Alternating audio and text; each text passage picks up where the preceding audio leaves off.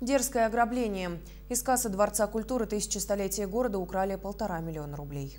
За 62 года существования ДК такого еще не было. Подробностей преступления немного.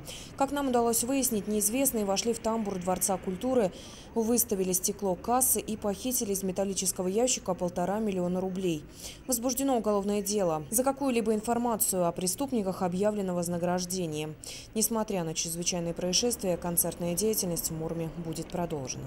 Несмотря ни на что, уважаемые зрители, мы хотим вам сказать, что все концерты, которые запланированы, обязательно состоятся, чтобы вы не переживали, не думали ни о чем плохом.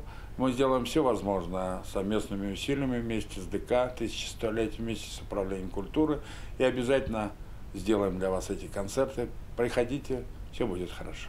Ближайший концерт состоится 28 э, февраля концерт Вики Цыгановой. Ну а в марте, 9 э, марта, мы ждем вас на концерт Стаса Пьехи.